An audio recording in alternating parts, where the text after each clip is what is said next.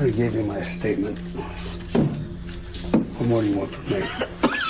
How did you know to come here? I didn't know to come here.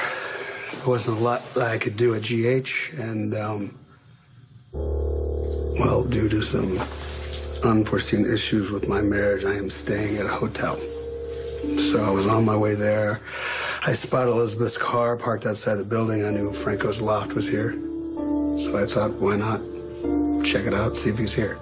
And as I already told you, I came through the door. Harvey was on top of Franco, choking the life out of him. Franco wasn't even moving. Gun was to my foot. Picked it up, and I shot Harvey. There was no time to do anything else. It's GH. It's Commissioner Ashford. It's about Harvey. With the initial CF in his hand. In New York State, the CASA law provides for self defense and prevention of violence against another person. But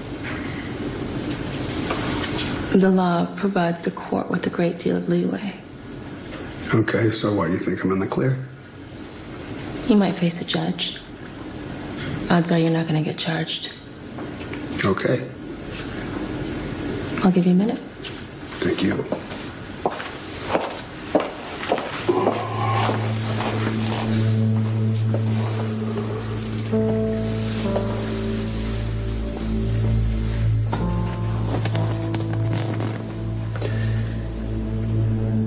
You know, the only regret I have about killing you is you can't hear this.